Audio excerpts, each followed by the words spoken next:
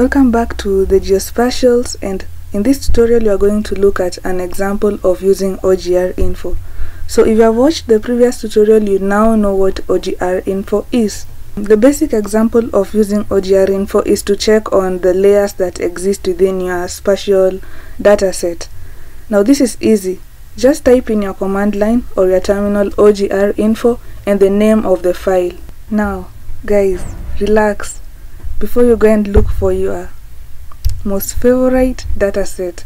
This is the point of the tutorial where I introduce random GeoJSON. It's an application I created for generating random point, line or polygon GeoJSON dataset within a user-defined polygon. So I'm going to create some random point data and I'm going to just draw a bounding box and I'm going to show you how this tool works so let's zoom into an area like uh, let's say where I come from Kenya and draw a bounding box or rather uh, an irregular polygon like that and then generate point data. Let's generate 20 points and give them a few fields. We'll give it um, let's say it's the we are mapping out um, houses or yeah. So a house can have a color it can have an address and let's say it also has uh, the number of people which can be integer. Now click on generate. So you have 20 houses then let's download the data now I'm going to save this dataset in somewhere favorable. So just going to save this create a folder. Let me call this folder um, OGR data. Then let's save it there I'll rename it to um, houses. Houses like that. Now in your terminal we're going to go and write OGR info and then the name of the layer. So before that let's change directory to our projects folder or wherever you have your database data saved. Then OGR info and the name of the dataset in my case it's houses sorry I have to change directory and then ogr info. Houses.geojson good. So from the first thing you can see is that it's a geojson uh, dataset and the layer that exists is houses. You can have more than one layers in a file and they'll all be listed here. Now if you want to check um, some information about this houses layer we simply add the name of the layer to the command. So ogr info houses.geojson and then the name of the layer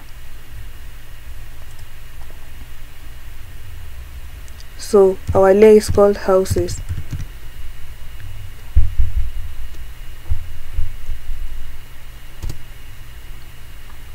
So as you can see um, you get a description of all of the features and their information. So it's an integer it has a color address and it's a point. Now we can also get a summary of the layer.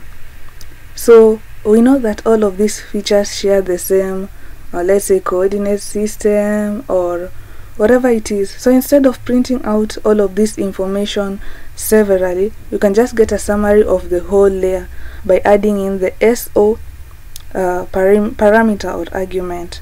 You'll type ogr info not org ogr oh my god.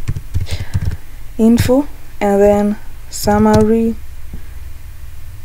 and then the name of the file which is houses and then the name of the layer which is houses. So you can see um, a summary of this layer is that uh, it's called houses. The geometry is point the feature count there are 20 as we had said. The extent and this is the bounding box. And then we have the layers whatever the datum. We also have the coordinate system so it's that easy guys?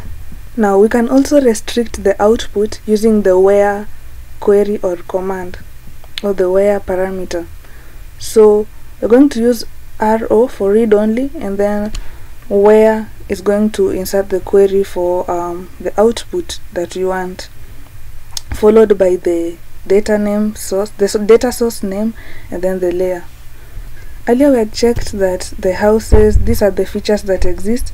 So let's say we want to filter out exactly a house that has um, this number of people. Remember this is just um, an example. So let's copy that. And then now let's write our query. So we'll write um, ogr info and then it's read only so if you add this slash it means you want to continue on the next line without finishing out the command or running it out. Then um, it's read only 2 we need to put in the query. So you write uh, where.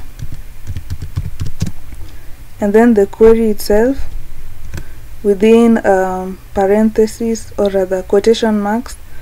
So it was integer which is the name of the field is equals to that then close.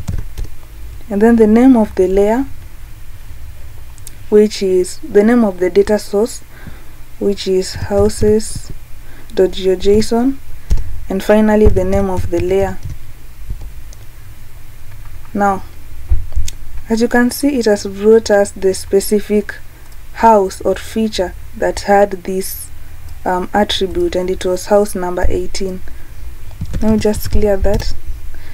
If we check our full summary of all of the houses we see that house number 18 is exactly that the, the one that had this kind of um, attribute information. So guys i hope you have made it this far and you have understood. See you in the next tutorial. And guys if these tutorials are helpful to you in any way consider subscribing to my channel and don't forget to give this video a like.